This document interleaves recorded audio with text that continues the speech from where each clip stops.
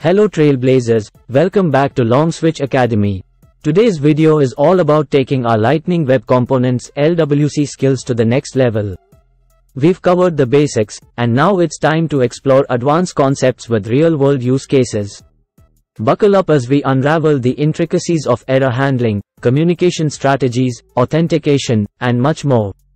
Whether you are a seasoned developer or just starting, this journey into the depths of LWC promises valuable insights and practical solutions. Before we take our first question of this segment, subscribe to our channel to learn and grow with us. Let's begin the video. Errors are an inevitable part of development, and in this section, we'll explore how to gracefully handle them in Lightning Web Components. Let's begin with our first question, which revolves around exception handling in LWC, Question number 1. How can you handle errors in Lightning Web Components, and what is the recommended approach for error handling? The best answer for this question would be, in LWC, error handling is achieved through the try-catch block. You can catch errors in the rendered callback lifecycle hook or use a catch block with a promise. The recommended approach is to use the try-catch block to gracefully handle errors and provide a user-friendly experience. If the interviewer asks about a practical use case then you can use the following example. Imagine a scenario where a Lightning Web component is making an asynchronous call out to an external API using a try-catch block. You can handle potential errors, such as network issues or API responses, and display a meaningful message to the user. Communication is key, and Lightning Message Service empowers our components to talk seamlessly. Let's explore Lightning Message Service in the next question. Question number 2. What is the role of the Lightning Message Service in Lightning Web Components, and how does it facilitate communication between components? The best answer for this question would be, the Lightning Message Service allows components to communicate across the DOM, including between Visualforce pages, Aura components, and Lightning Web components. It provides a pub-sub, publish-subscribe model, allowing components to broadcast and subscribe to messages. A practical use case for above question can be the following. Consider a complex Salesforce dashboard where multiple Lightning Web components need to update based on changes in a central data source. The Lightning Message Service can be used to broadcast changes, and subscribing components can update their UI accordingly. Ever wondered how to fetch data from external services?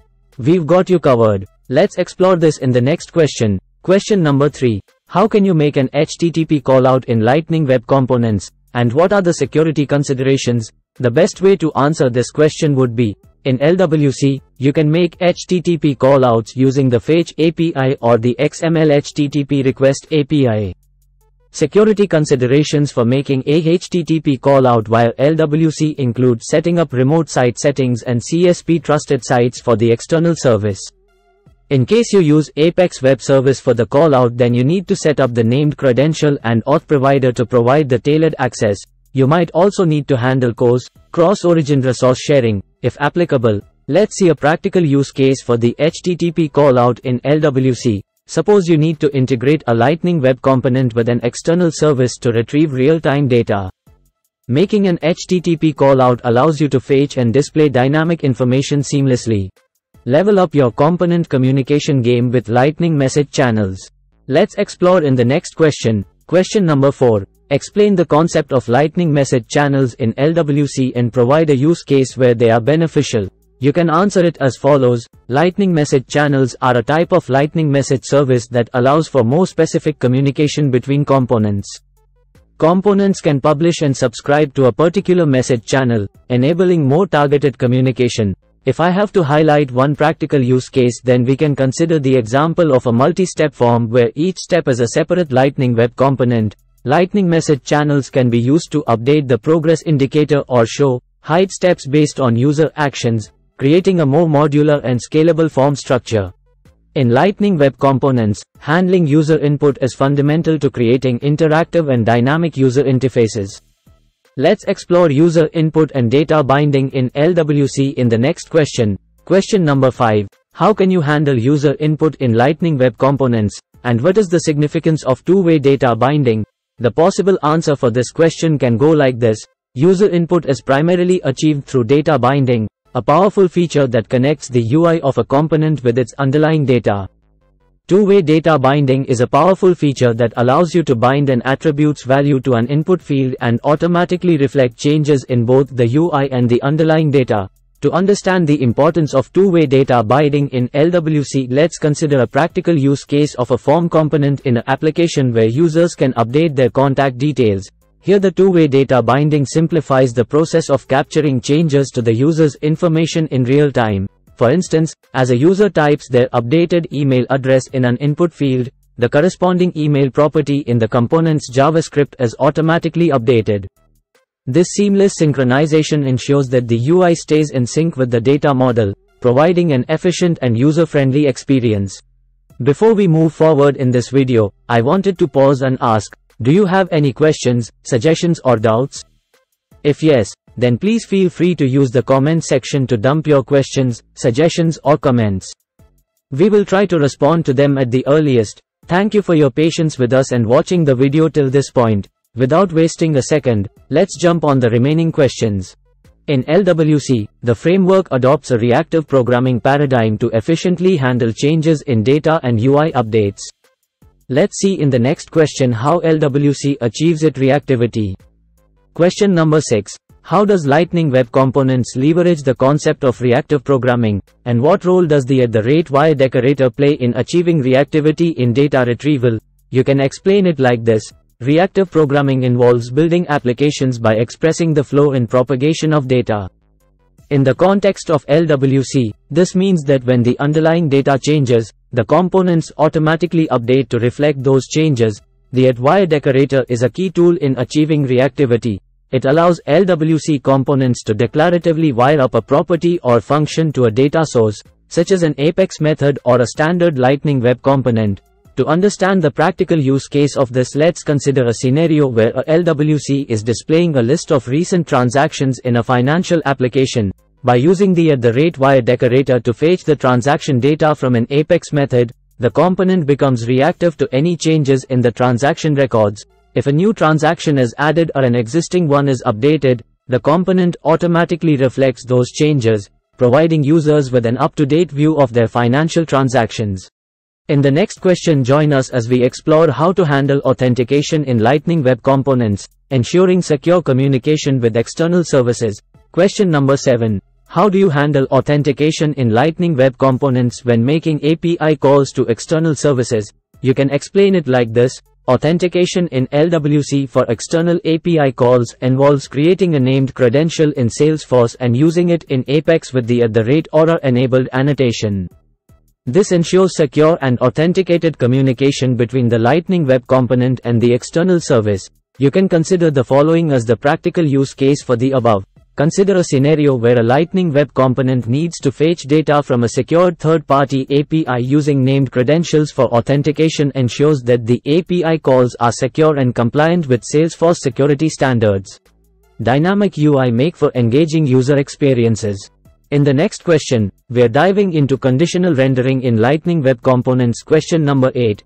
Explain the concept of conditional rendering in Lightning Web Components, and provide a use case where it is beneficial. The best explanation for this question would be, conditional rendering in LWC involves dynamically displaying or hiding elements based on a condition.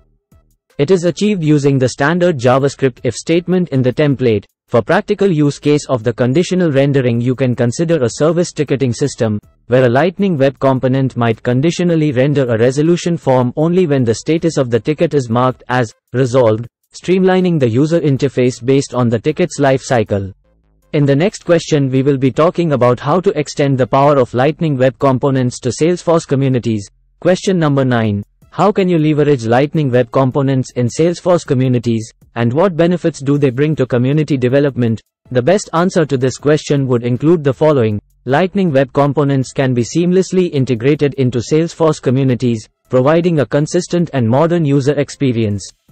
They bring benefits such as modularity, reusability, and the ability to create custom components tailored to community-specific requirements. If I have to mention a practical use case for this then I would consider a customer community. Lightning Web Components can be used to create custom UI elements, such as interactive product catalogs or personalized dashboards, enhancing the overall user engagement and satisfaction. efficient rendering is the key to a smooth user interface. Join us in the next question as we explore the track decorator in Lightning Web Components. Question number 10. What is the significance of the track decorator in Lightning Web Components, and how does it contribute to efficient rendering? You can explain it like this. The track decorator is used to mark a property as reactive, meaning that the component re-renders when the value of that property changes. It contributes to efficient rendering by allowing the framework to optimize the updates and render only the affected parts of the component. To highlight a practical use case for this we can consider a real-time chat application built with Lightning Web Components. The track decorator can be applied to the messages array. As new messages arrive, only the message list is re-rendered, providing a smooth and efficient user experience. That brings us to the end of our deep dive into the advanced concepts of Lightning Web Components. We've explored how to handle errors gracefully, establish seamless communication between components, make secure API calls, and enhance user interfaces with dynamic rendering. These skills are not just theoretical, they're tools you can use today to build robust, responsive, and secure applications on the Salesforce platform. As you embark on your own projects, remember to experiment, explore, and most importantly, enjoy the process of mastering Lightning Web Components. A big thank you from LongSwitch Academy team. Thank you for joining us on this advanced journey into Lightning Web Components. Your time, engagement, and enthusiasm are what make this community vibrant and dynamic.